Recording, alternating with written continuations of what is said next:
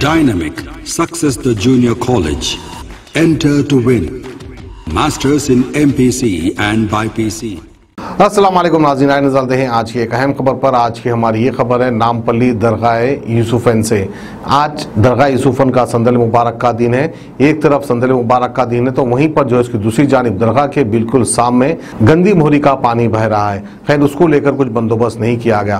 फिर वहीं पर जो है वक्फ बोर्ड के चेयरमैन जनाब मोहम्मद सलीम साहब वहाँ पर दौरे के लिए आते हैं, वहाँ का जायजा लेने के लिए आते हैं। फिर मीडिया से मुखातिब होते हुए कई मसले मसाइल पर उन्होंने अपना जवाब दिया। उन्होंने कहा कि लॉकडाउन हो भी सकता है। उन्होंने कहा कि बकरीद किस तरह से हमें मनानी चाहिए। फिर वहीं पर उन्होंने कहा कि आज संदल मुबारक का दिन है? आज असर के बाद से जो है मक्का मस्जिद से संदल मुबारक निकलेगा, दरगाह यूसुफन को आएगा। तो आइए खबर हम आपको दिखाते हैं दरगाह यूसुफन नामपल्ली से। मोहम्मद गौस है, यहाँ से तीन दिन से पानी, गंदा पानी बह रहा है। जुम्मे का दिन है, यशु बाबा शरीफ बाबा का संदल चल रहा। यहाँ कोई पूछने वाला नहीं है। आखिर यहाँ लीडरा वडरा है नहीं है, क्या है कुछ इंतज़ाम है नहीं है। आके देखो, नमाज़ यहाँ कहा जाना, आना जाना कैसा यहाँ देखने वालों को क्या करना? हाँ बोलो मुखिया।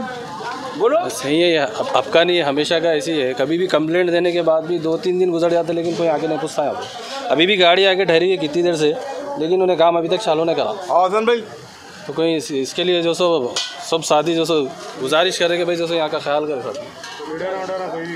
लीडर तो है लेकिन भाई तो लीडर भी तो आगे बढ़ के करना ना शायद बोल भी रहे होंगे लेकिन काम करने वाले बल्दिया वाले जल्दी आगे नहीं बढ़ रहे उसके पास और हमेशा का ऐसी है हमेशा कभी भी यहाँ पानी भरता ना कभी भी ऐसी है चार पाँच साल से जब से चल रहा है ये कभी भी भरता ना दो दिन तीन दिन गुजर जाते लेकिन जल्दी आगे जो सो उन्हें कर दो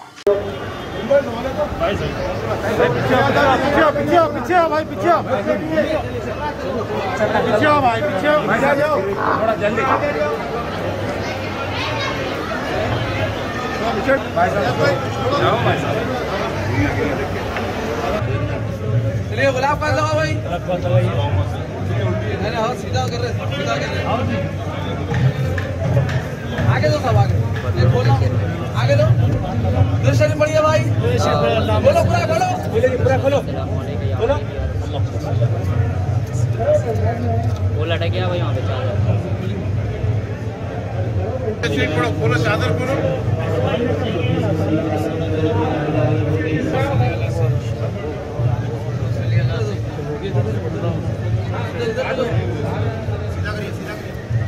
भाई पूरा खोलिए स्वदेश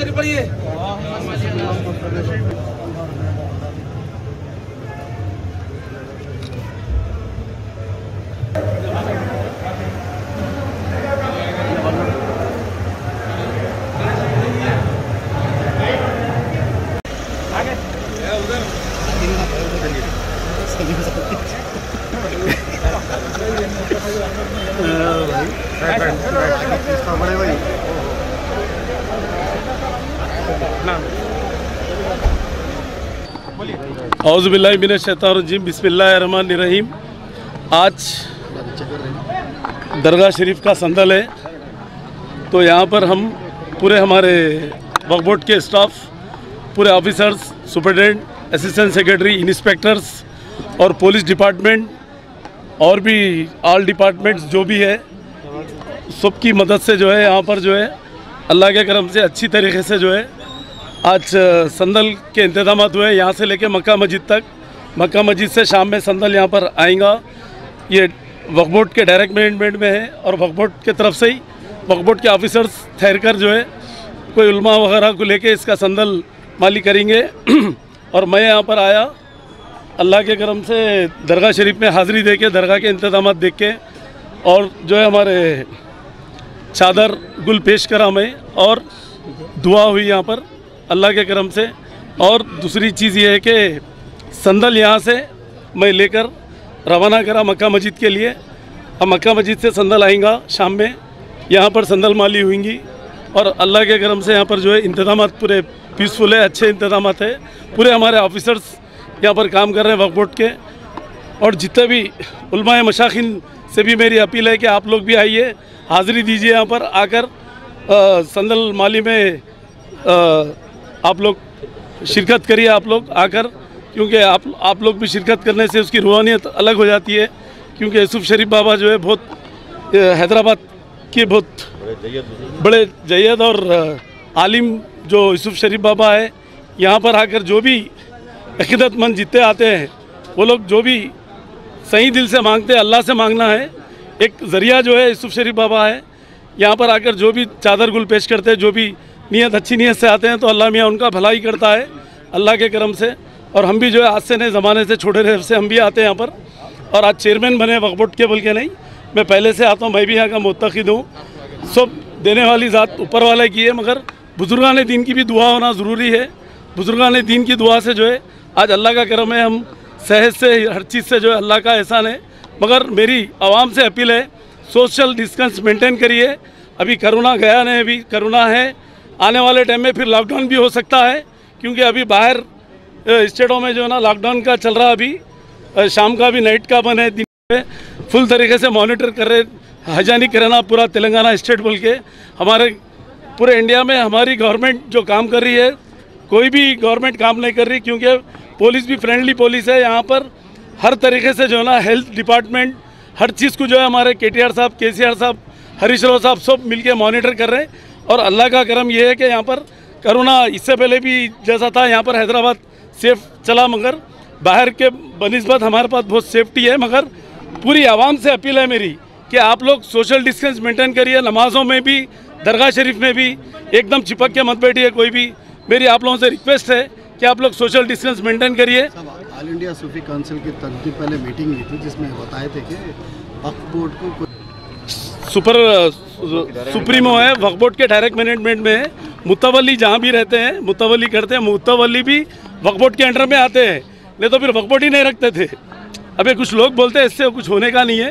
क्योंकि अगर घर में भी अगर आप मस्जिद बनाए या कब्रस्तान बनाए तो सेंट्रल एक्ट है। वो ऑटोमेटिक वक्फ यूज़र में रहता हो। ये सेंट्रल एक्ट है मतलब ये गवर्नमेंट का इदारा, ऐसा नहीं है कि कोई घर का इदारा नहीं है। सेंट्रल एक्ट है वक्फ वक्फ बोर्ड जो है ना जहाँ पर भी कोई धांधलियाँ होते गलत काम होता तो उसको सस्पेंड भी कर सकते हैं मुतवली रहो या कमेटी रहो कुछ भी रहो। अच्छा काम करे तो उनके साथ भी देते हैं हम लोग ऐसा नहीं है। साबिका मुतवली को आप जो ओरली बोले बोल के वो मालूम हुआ साहब संदल आप करो बोल सादे सबका मुतवली को ओरली ऐसा नहीं है। हम इन सबको डायरेक्ट मैनेजमेंट में है। अब इतने लोग जो आए अब अंदर में चादर चढ़ाया अगर संदल माली भी है तो अब क्या है? एक दो जने थोड़े ही करते। कई लोग आते तो उसमें उन्होंने भी आते होंगे। आने दीजिए। किसी को रोक नहीं सकते ना हम ज़ाहिर इनको। संदल कौन करेंगे संदल हमारा वकबट करेंगे और उलमा मशाकिन को सपोर्ट लेके करेंगे हम लोग। और साहब ये संदल के पासा भी जो है बेच रहे बोल के मालूम हो रहा है साहब। कोई भी अगर बेचे तो जो है ना पुलिस में कंप्लेंट करिए आप। एक मिनट में उसको अंदर दला देंगे हम। सर्कल साहब को भी मैं बोल के जा रहा हूँ अभी। यहाँ पर कोई भी पास बेचने की कोशिश करेंगे तो सीधा उसको अरेस्ट करना है सब। पास फ्री देते वो भी उलमाए मशाखिन को जो भी जो, दरगाह का रिलीजियस का जो मेन बड़े लीडर है ना वो लोग आके करते हैं यहाँ पर। पास जिसको भी दिए वो कोई बेच बल के मालूम आता उसको आप थोड़ा एस बी लगा के जरा कंट्रोल करिए यहाँ पर। कोविड के मद्देनजर। पासस ऐसा कुछ नहीं है जिसको जो भी इम्पोर्टेंट लोग हैं वो लोगों को दिया जा रहा। ज़रूरत के मुताबिक क्योंकि एकदम लोगों को भी अंदर नहीं भर सकते हमेशा की तरह क्योंकि अभी मैं बोला सोशल डिस्टेंस मेंटेन करना है ज़रूर है ये। और अल्लाह के करम से सोशल डिस्टेंस मेंटेन करें तो सबके लिए अच्छा है हमारे लिए नहीं। वकबोट से इंतज़ाम नहीं है तो इतना बड़ा इंतज़ाम कहाँ से होता फिर? वकबोट पूरा स्टाफ लगे हुआ है हमारा पूरे ऑफिसर्स लगे हुए हैं। सैनिटाइजर का भी है अगर कुछ कम है तो अभी हम करा देंगे उसको। साहब ये सीओ साहब नहीं आने की वजह क्या है साहब हर हर टाइम जो है उसके मौके पर सीओ साहब नहीं आते हैं। नहीं नहीं नहीं आएँगे वो लोग अभी अब अभी बोलेंगे हम। आएँगे वो लोग। नहीं नहीं बदवानियाँ कुछ भी नहीं हो रहे अगर हो रहे हैं तो फिर हम उनको बाजू कर देंगे उनको। हम इसलिए हम शाम में उलमा मशाखिन को बुला रहे हैं हम। कुछ उलमा आएँगे जाम निज़ामिया से और हमारे जो पहले के भी जो मुतवली जैसा बोल रहे हैं आप, शब्बीर, हाफिज शब्बीर साहब जो है हाँ हुसैन साहब है उन्होंने भी एक बुज़ुर्ग आदमी है। आके ठहर के मशवरा तो दे सकते हैं ना वक्फोट के अंडर में। उन्होंने आके ठहरे तो इसका मतलब ये नहीं है कि उन्होंने रसूमात कर रहे, ऐसा नहीं है। पूरे पेपर वर्क हर चीज़, पुलिस स्टेशन में, हमारे हर जगह वकबोट में लीगल सब वकबोट ही है। नहीं के नहीं नहीं ऐसा नहीं है किसी से दुश्मनी नहीं है ना हमारी। ये दरगाह शरीफ है कोई भी आ सकते हैं यहाँ पर। पूरे पूरे इंडिया से कोई भी आ सकते हैं यहाँ पर जैरत कर सकते हैं ठहर ठहर सकते हैं अच्छे अच्छी एडवाइस दे सकते हैं यहाँ पर। जर्मन टेन हॉस्पिटल ऑर्थोपेडिक से मुतालिक हर मरीज़ यहाँ शिफायाब, इनाम याफ्ता। Doctor Mir Jawad Zar Khan senior orthopaedic surgeon advance operation theatre ICU digital X ray laboratory physiotherapy pharmacy sharing और प्राइवेट रूम्स लेडी डॉक्टर्स और डॉक्टर अर्जुमन सुल्ताना गैनाकोलॉजिस्ट की खिदमत हासिल। वाजबी फ़ीस और मुकम्मल सहूलियात से हज़ारों मुतमिन एंबुलेंस ऐसी से आरास्ता Germanton orthopaedic hospital pillar number 150 Attapur, Hyderabad. Chabad.